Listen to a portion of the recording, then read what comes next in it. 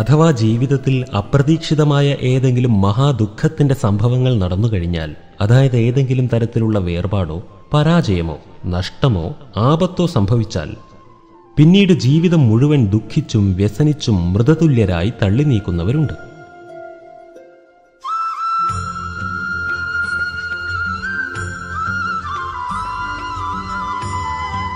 അവർക്ക് ആ ആഘാതത്തിൽ നിന്ന് കരകയറുവാൻ സാധിക്കാതെ ശേഷിച്ച ജീവിതം ദുഃഖിക്കാൻ വിധിക്കപ്പെട്ടതാണെന്ന് സ്വയം വിധി എഴുതുന്നു.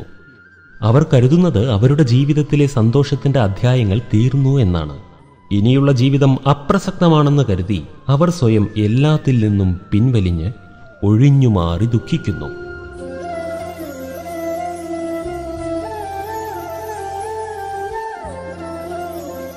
ഒരുപക്ഷെ അവർ കരുതുന്നത് ഈ ആഘാതം മൂലം മനസ്സിനേറ്റ ദുഃഖം ശമിച്ചതിനു ശേഷം മാത്രം മറ്റെന്തെങ്കിലും കാര്യത്തെക്കുറിച്ച് ചിന്തിക്കുകയോ മറ്റെന്തെങ്കിലും തുടങ്ങുകയോ ചെയ്യാമെന്നായിരിക്കും. എന്നാൽ ഇത് തീർത്തും വിപരീതമായ ഒരു ചിന്താഗതി തന്നെയാണ്. മനസ്സിന്റെ പ്രതലത്തിൽ ഇപ്പോൾ സ്മരിക്കുവാനുള്ള വിഷയം ഒന്നുകിൽ പൂർവകാലത്തെ സൗഖ്യമോ അല്ലെങ്കിൽ വർത്തമാനകാലത്തിലെ ദുഃഖമോ ആയിരിക്കും. ഇവ രണ്ടും ഇപ്പോഴുള്ള നമ്മുടെ ജീവിതത്തെ സ്തംഭിപ്പിക്കുന്ന സ്മൃതികൾ തന്നെയായിരിക്കും. മനസ്സിൽ നിന്ന് ആ ദുഃഖം നീങ്ങണമെങ്കിൽ പുതിയ കാര്യങ്ങൾ മനസ്സിന്റെ പ്രതലത്തെ സ്പർശിക്കേണ്ടിയിരിക്കുന്നു. പുതിയ വ്യവഹാരങ്ങൾ പുതിയ സംഭാഷണങ്ങൾ പുതിയ സംഭവങ്ങൾ പുതിയ രീതികൾ പുതിയ വെല്ലുവിളികൾ.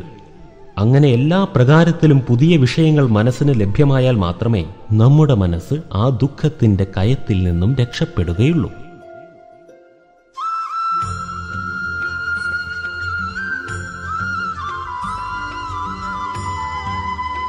ചെറിയ പ്രായത്തിൽ തന്റെ കളിപ്പാട്ടം ഉടഞ്ഞുപോയപ്പോൾ ലോകം തന്നെ നഷ്ടമായ പ്രതീതി ഉണ്ടാവുകയും നിർത്താതെ വിലപിക്കുകയും ചെയ്തവരാണ് നമ്മൾ.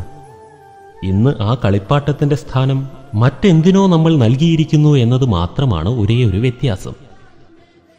അന്ന് ലോകം മുഴുവൻ നഷ്ടമായ പോലെ വിലപിച്ച നമ്മൾ ഇന്ന് വരെയും ജീവിച്ചുവെങ്കിൽ ഇന്ന് വിലപിക്കുന്ന നമുക്ക് ഇനിയും ജീവിക്കുവാനാകുമെന്നതാണ് സത്യം. അതിനാൽ ചിന്തിക്കൂ ഉണരൂ എഴുന്നേൽക്കൂ സ്വയം പ്രയത്നം തുടരൂ. ഒരിക്കലും സൂര്യനും ഭാഗ്യവും എന്നേക്കുമായി അസ്തമിക്കുകയില്ല എന്ന സത്യം തിരിച്ചറിയും.